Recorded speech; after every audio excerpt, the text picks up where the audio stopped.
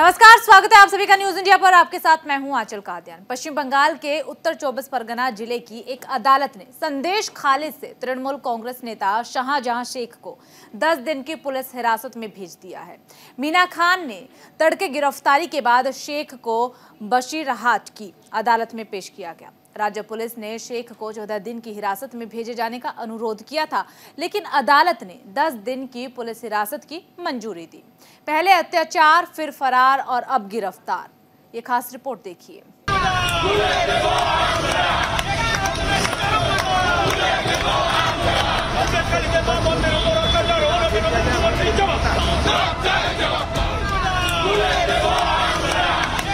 संदेश खाली। एक ऐसा नाम एक ऐसी जगह जो ज़्यादातर बंगाल से बाहर रहने वाले लोग नहीं जानते।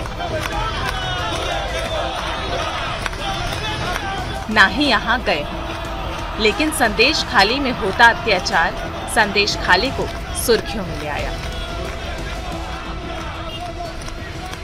वहाँ का डॉन ये मान बैठा था कि 12 मुल्कों की पुलिस भी उसे नहीं पकड़ सकती। पहले अत्याचार, फिर फरार और अब गिरफ़्तार।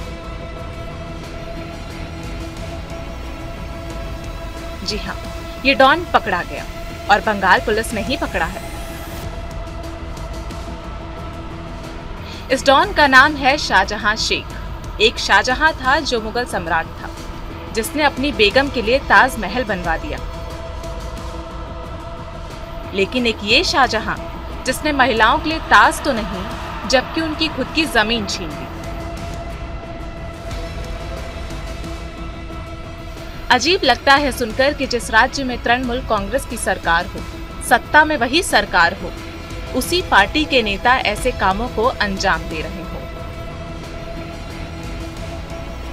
लेकिन समय का पलटवार तो देखिए, जिस पार्टी की सदस्यता से शाहजहां शेख आगे बढ़ा, गिरफ्तारी के बाद पार्टी ने उसे सस्पेंड कर दिया। पश्चिम बंगाल के उत्तर 24 परगना ज़िले की एक अदालत ने संदेश खाली से तृणमूल कांग्रेस नेता शाहजहां को 10 दिन की पुलिस हिरासत में भेज दिया है। मीना खान से तड़के गिरफ्तारी के बाद शेख को बशीरहाट की अदालत में पेश किया गया। राज्य पुलिस ने शेख को 14 दिन की हिरासत में भेजे जाने का अनुरोध किया था, लेकिन अदालत ने 10 दिन की पुलिस हिरासत की ही मंजूरी दी। माना जा रहा है कि गिरफ्तारी से पहले टीम कई दिनों से शाहजहां शेख की गतिविधियों पर नज़र रख रही थी।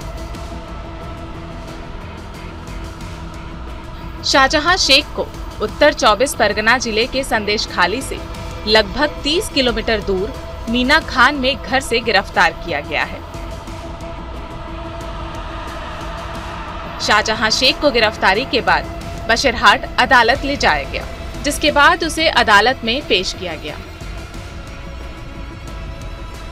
टीएमसी नेता शाहजहां के वकील राजा भौमिक ने कहा, चौदह दिन की पुलिस हिरासत हमने मांगी थी, लेकिन 10 दिनों की हिरासत में ही भेजा गया है। अब 10 मार्च को उसे दोबारा कोर्ट में पेश किया जाएगा। 55 दिनों से फरार शाहजहां शेख को माना जा रहा था कि ममता दीदी खुद उनका बचाव कर रही है।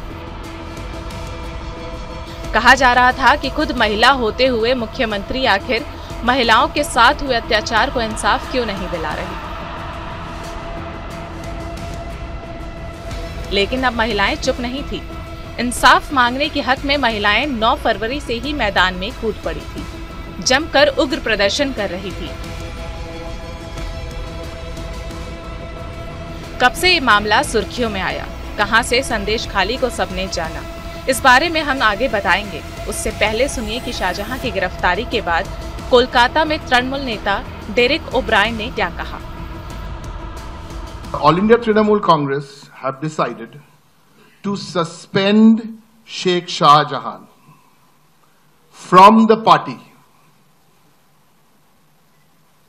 for six years read my lips suspend him for six years why Because there are two types of parties.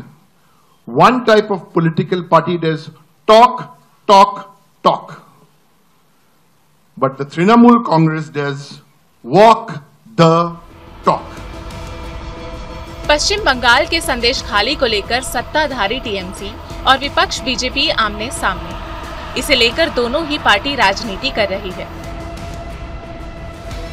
लेकिन राजनीति से हटकर इस मुद्दे को देखें तो जो संदेश खाली में विवाद है। अगर उसमें रत्ती भर भी सच्चाई है तो फिर ये वारदात ऐसी है कि सुनकर आपकी रूह काँप जाएगी।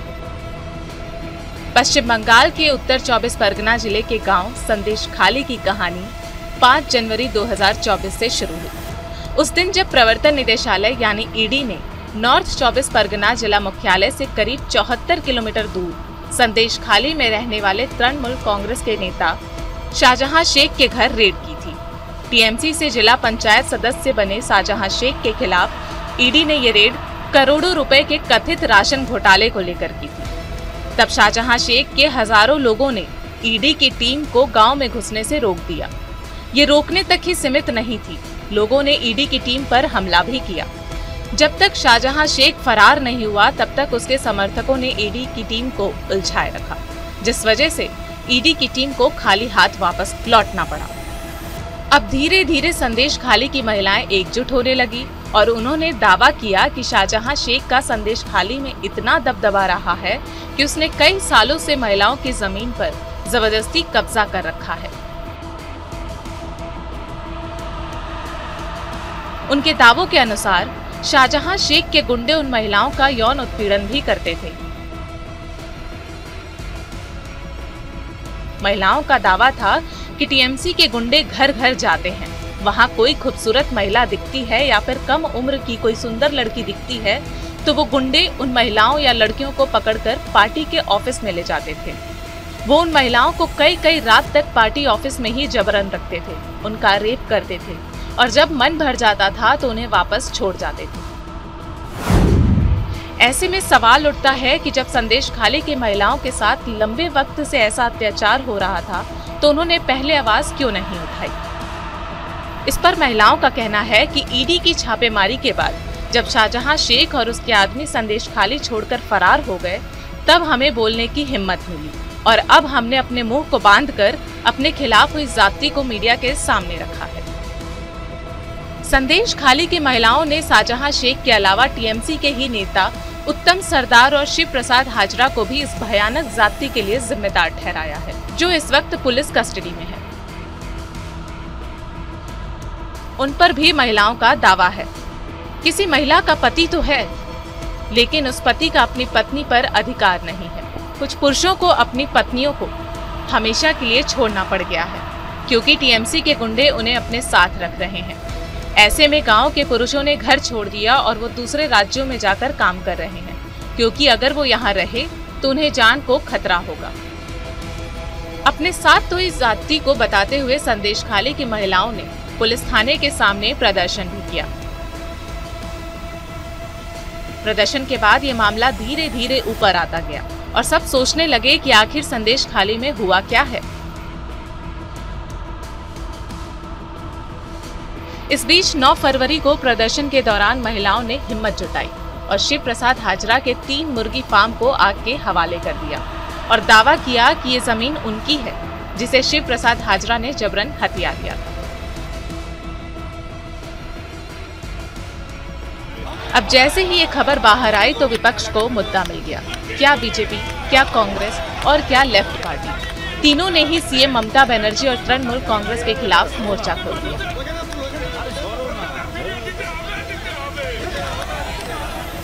महिलाओं की आवाज़ बनते हुए इन पार्टियों ने तत्काल ही संदेश खाली के आरोपी शाहजहां शेख की गिरफ्तारी के लिए प्रदर्शन करना शुरू कर दिया।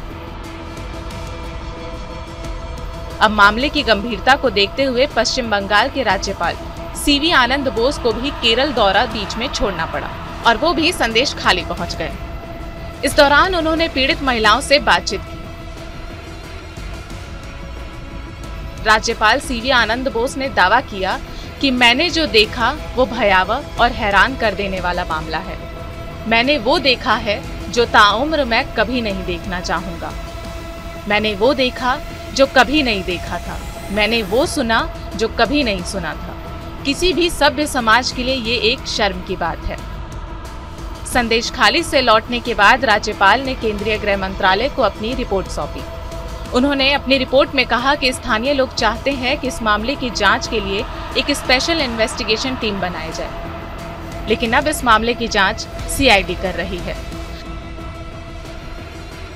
हालाँकि मुख्यमंत्री ममता बनर्जी ने विपक्ष के तमाम दावों को राजनीति से प्रेरित करार दिया है और कहा कि जो भी दोषी हैं, वो सलाखों के पीछे हैं। फिर बीजेपी के नेता संदेश खाली जाना चाहते थे। तो ममता बनर्जी की पुलिस उन्हें रोकने लगी, जमकर लाठी डंडे चले। लेकिन सवाल है कि उन महिलाओं का क्या? उनका क्या कसूर है कि पिछले कई साल से वो एक दबंग की दबंगई से डरकर मुँह नहीं खोल रही थी? और जब उन्होंने मुँह खोला तो महिलाओं पर भी कई तरह के आरोप लगने लगे। अब महिलाओं पर हुए जुल्म का इंसाफ आज से मिलना शुरू हो गया है। पुलिस को शाहजहां के हाथ आने के बाद अब शाहजहां कबूलता और क्या ना करता। सूत्रों की माने तो धीरे धीरे उसने अब अपने आरोपों को कबूलना भी शुरू कर दिया है। राशन घोटाला और संदेश खाली मामले का आरोपी शाहजहां शेख। कई दिनों तक गायब रहने के बाद आखिरकार बंगाल पुलिस की गिरफ्त में आ ही गया। शाहजहां 55 दिनों से फरार चल रहा था और उस पर संदेश खाली में महिलाओं का यौन उत्पीड़न करने तक के गंभीर आरोप लगे हैं। गिरफ्तारी के बाद से संदेश खाली की महिलाओं में जश्न का माहौल है।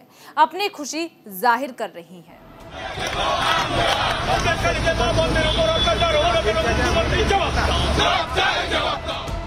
राशन घोटाला और संदेश खाली मामले का आरोपी। शाहजहां शेख कई दिनों तक गायब रहने के बाद आखिरकार बंगाल पुलिस की गिरफ्त में आ ही गया।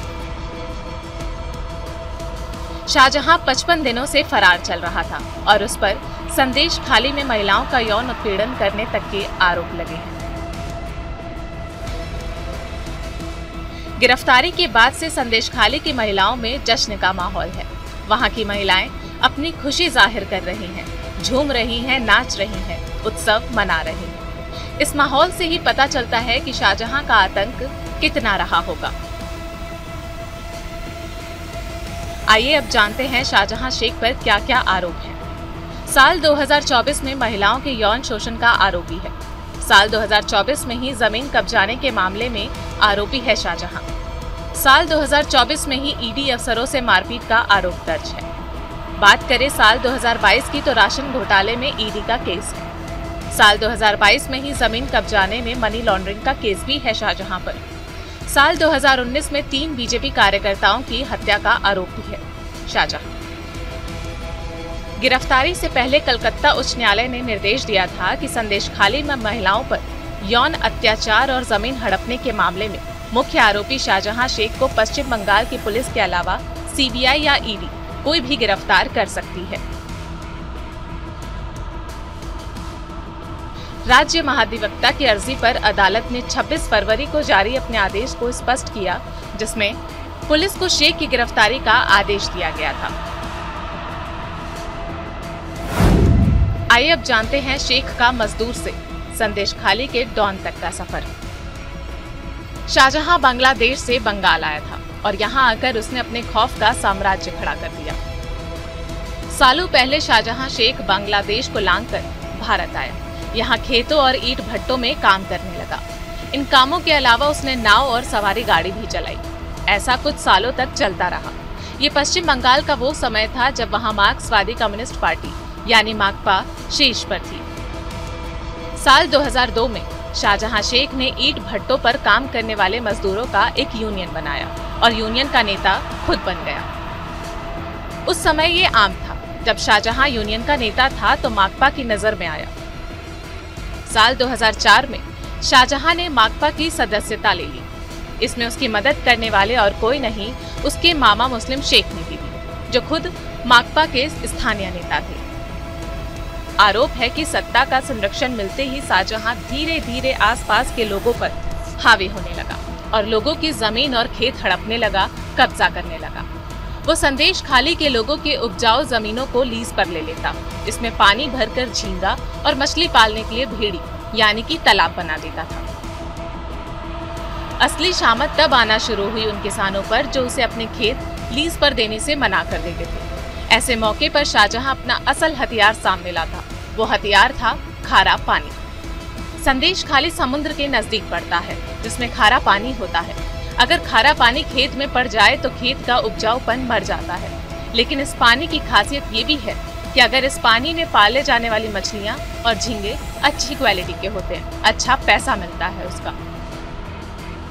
अब शाहजहां शेख इसी पानी का इस्तेमाल करता था। जो भी उसे ज़मीन लीज पर देने से मना करता, शाहजहां रातों रात उस खेत में गड्ढे कर देता और पंप से खारा पानी भरवा देता, जिससे खेत की सारी उपज मर जाती।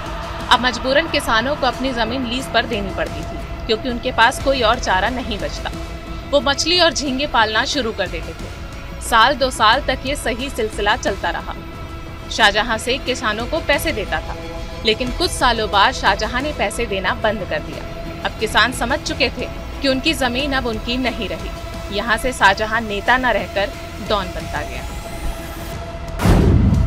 शाहजहां शेख के चाचा मुस्लिम शेख सीपीएम के नेता रहे हैं। शाहजहां शेख ने अपनी राजनीतिक करियर की शुरुआत सीपीएम के साथ ही की थी।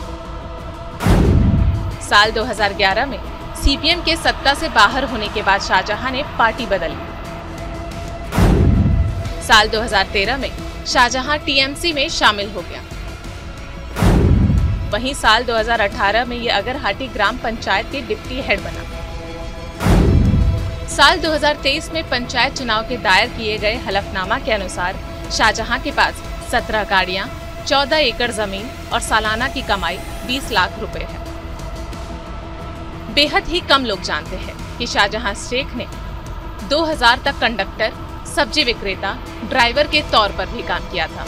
अपने चाचा की देखरेख में मछली कारोबारी भी शुरू किया था। संदेश खाली के लिए तो शाहजहां जाना माना डॉन था। हर कोई उसे जानता था। लेकिन देश में वो चर्चा में तब आया जब उस पर ईडी के साथ मारपीट और राशन घोटाले का आरोप लगा। न्यूज़ इंडिया के लिए प्रिया राय की रिपोर्ट।